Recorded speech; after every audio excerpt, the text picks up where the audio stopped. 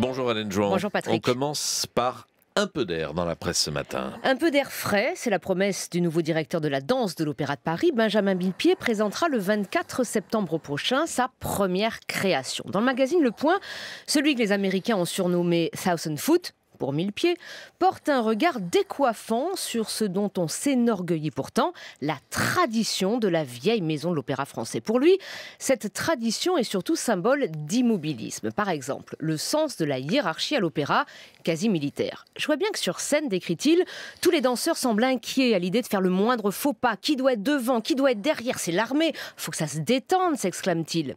La hiérarchie, mais aussi l'uniformité, on a des corps sublimes à l'opéra, mais qui se ressemblent tous. Difficile de mettre quelqu'un de couleur parce que ça ferait une distraction qui casserait l'homogénéité. C'est grave, ça va au-delà du racisme, dit-il.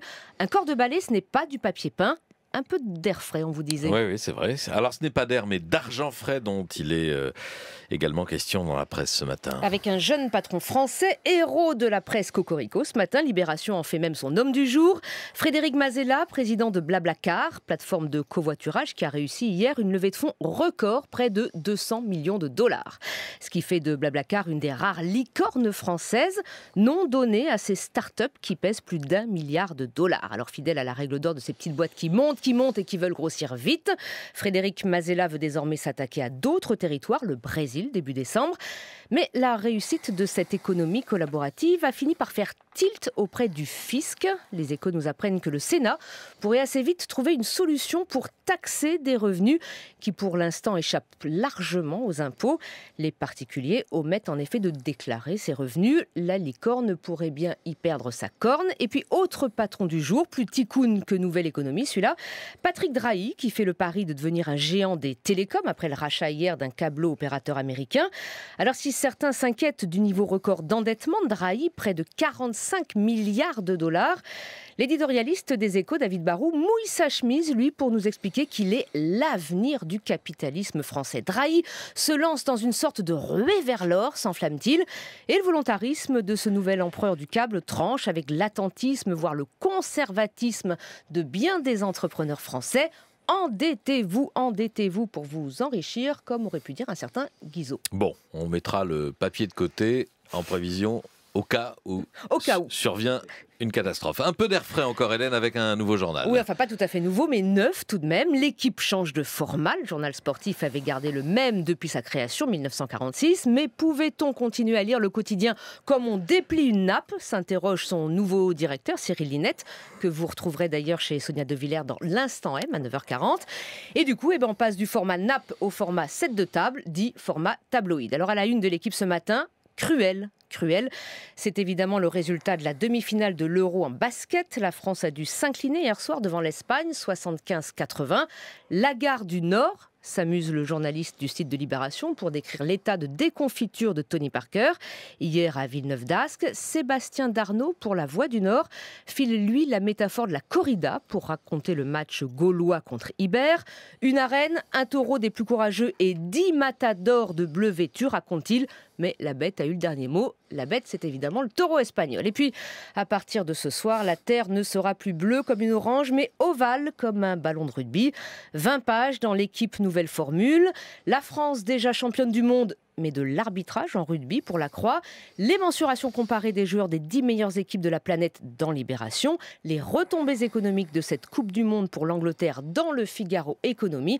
C'est parti pour 44 jours de frénésie ovale. Élection législative en Grèce dimanche. Syriza n'aura-t-il été qu'un courant d'air dans l'Asie politique grecque Eh bien, les sondages donnent Tsipras et Nouvelle Démocratie, la droite grecque au coude à coude pour l'instant, mais pour la première fois, raconte la Croix, ce sont des élections silencieuses. L'effervescence de janvier, quand s'annonçait la victoire de Syriza, est désormais bien lointaine.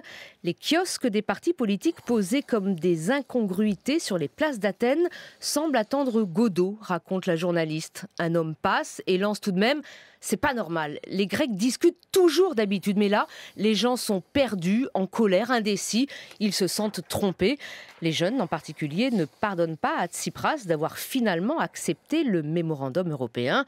Héros hier, le voilà qui se fait avoir par le système, regrette Yanis, un commerçant grec interrogé dans l'humanité. C'est lui qui a été trahi par les Européens, lui rétorque une autre. Donnons-lui une deuxième chance. Alors, deuxième chance ou pas, ce seront dimanche les indécis qui feront la différence. Enfin, Hélène, euh, l'air de rien, Nicolas Sarkozy esquisse ce qui ressemble à un mea culpa. Entretien de l'ex-président face au lecteur d'aujourd'hui en France, le Parisien, et le journal titre d'ailleurs sur ce début de repentance. J'ai beaucoup appris de la défaite, concède-t-il, face à Éloi, un jeune cuisinier de 20 ans qui l'interroge. Il y a bien sûr beaucoup de choses que je referai différemment pas sur les décisions d'État, mais sur moi, sur ma façon d'être, je changerai, reconnaît-il. Le journal raconte d'ailleurs qu'à la fin de la rencontre, Nicolas Sarkozy s'auto-félicite de son changement. Vous avez vu comme je suis calme maintenant Un vrai toutou. Opération vérité, donc j'ai changé. Sauf, eh ben, sauf que le naturel revient au galop. Avant de partir, il lance à la cantonade. Vous déjeunez où, vous, au fait? Un lecteur ose répondre au Fouquet's. Du tac au tac, Nicolas Sarkozy rétorque le Fouquet's, j'y vais jamais. Je vous conseille le Bristol. Leur chef est fantastique, s'exclame-t-il. On se refait pas. Dans l'Obs à lire. On rappelle quand même que c'est l'un des plus chics palaces de Paris, le Bristol pour on le rappelle, pour, ceux, qui... n'ont pas la chance d'avoir goûté la, carte du Fouquet. Alors dans l'Obs, ni du Bristol, ni du Bristol. Dans l'Obs, à lire un article assez dur contre celui qui a beaucoup séduit et beaucoup déçu. Ces ex-fans de Sarko, comme le titre l'hebdo, patron, un télo, parfois venu de la gauche, qui l'avait enchanté en 2017, en 2007, cauchemarde à l'idée de le voir revenir, paraît-il.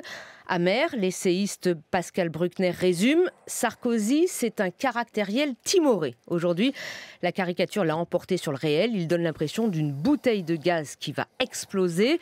Même des illusions quand il se rend devant un cénacle de patrons influents du CAC 40. De méchante humeur ce jour-là.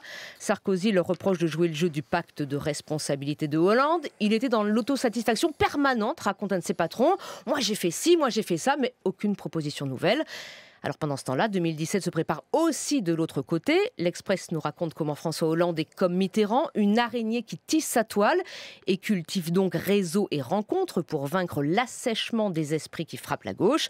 Le président multiplie, paraît-il, les dîners avec des people, des acteurs, des journalistes, des humoristes et il y apprend, paraît-il, les choses de la vie. Par exemple, il est revenu de chez Michel Drucker avec des couches pour chiens, son labrador filae ayant quelques réticences à la propreté.